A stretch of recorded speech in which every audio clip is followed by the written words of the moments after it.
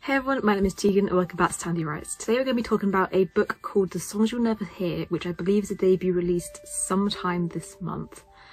I received an advance copy of this book from NetGalley in exchange for an honest review. Let's begin. This book is a love letter to music and in some ways to friendship. The story delves into a surface level representation of the music industry and Meg's pop star brother, but the focus is on her passion for songwriting and making a name for herself outside of her brother's shadow. Meg is the main character and the narrator, and the character that I never warmed up to. She's rude and snobbish and straight up mean to every single character she interacts with on page. Even the characters in flashback scenes. Her brother's fame unintentionally made her become an influencer, but we don't really see any exploration of this other than the annoyance of public attention. So her constant meanness feels out of place. She's also deceptive and dishonest about her identity to her online best friend because she knows him in real life and he hates her due to her meanness.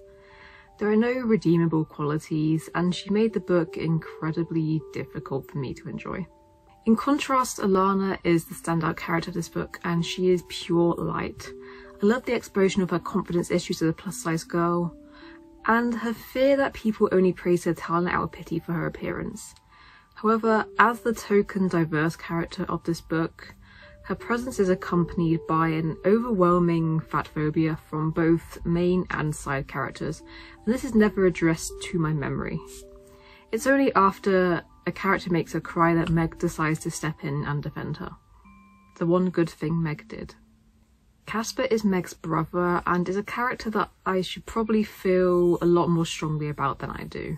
He's only ever on page to start arguments when he doesn't get his way and to bully Alana under the illusion of helping her. Um, there's not a single moment in this book where he showed a glimpse of being a good person, simply did not feel anything or care for him when his redemption arc arrived. I thought a lot of the things he said and did were unforgivable and he never took accountability for those things, just blaming his actions on the stress of the industry.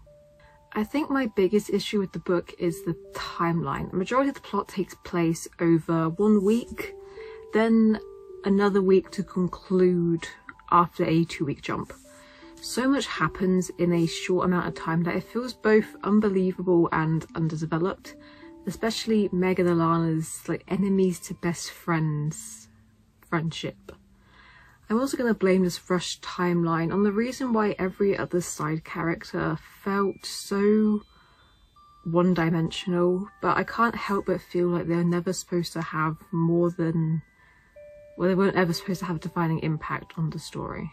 It also meant that a lot of potential storyline and character arcs were incredibly simplified in a way that felt almost juvenile to still fit in all these events in a limited page count.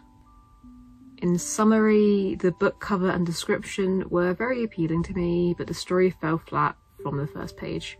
I originally gave this book 3 stars on Goodreads, but dropped it down to 2 stars after spending some more time dwelling on this book as I was writing this review.